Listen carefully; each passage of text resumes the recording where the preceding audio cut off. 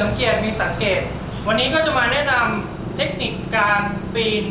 โลบทูโลบทานเฟอร์หรือการเปลี่ยนตำแหน่งกลางเชือกในกรณีที่เราต้องการจะเปลี่ยนตำแหน่งทำงานนะครับ จาก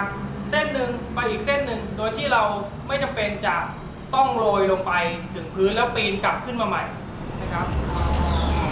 สำหรับเทคนิคลบคูลบนี้นะครับ ในกรณีที่เราจะปีนนะครับ มีหลากหลายวิธีเรามีการเซตเชือก มีระยะห่างกันมากๆนะครับ เราอาจจะใช้ปลายของเชือกทั้งสองลายเนี่ยผูกติดกันไว้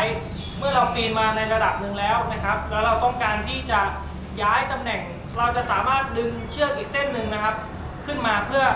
เพิ่มอุปกรณ์เข้าไปได้นะครับ หรือเราอาจจะนำเชือกที่เราจะย้ายตัวไปเนี่ยติด ข้างเอวเรามาด้วยเลยนะครับ ติดกับ carabiner ที่คล้องอยู่กับ gear loop มาก็ได้ หรือจะผูกกับ gear loop มานะครับ เมื่อเราปีนขึ้นมาในระดับที่เราต้องการแล้ว เราต้องการจะย้ายตำแหน่ง อันดับแรกให้เราทำการ changeover ก่อน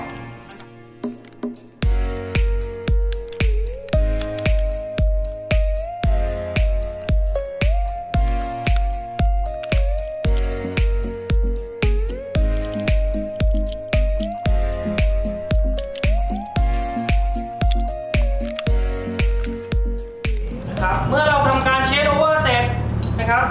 ให้เราทำการเคลียร์เชือกเคลียร์ออกไปฝั่งที่เราไม่ได้ใช้แล้วนะครับ เมื่อเราพร้อมที่จะทำการ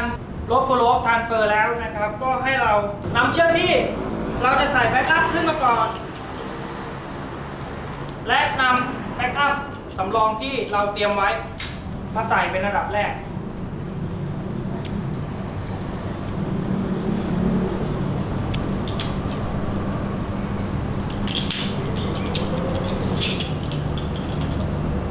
ใส่ backup เสร็จแล้วนะครับ ให้เราใส่เชือก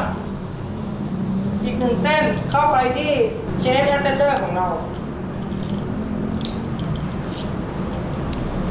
และย้าย ascender ของเรา มาจับที่เส้น สีเหลืองฝั่งนี้ จากนั้นนะครับให้เราเริ่มดึง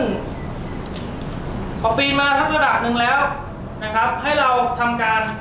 belay descender เพื่อให้ตัวเราย้ายมานั่งที่เส้นนี้ร้อยเปอร์เซ็นต์ตอนนี้เราก็สามารถทำการ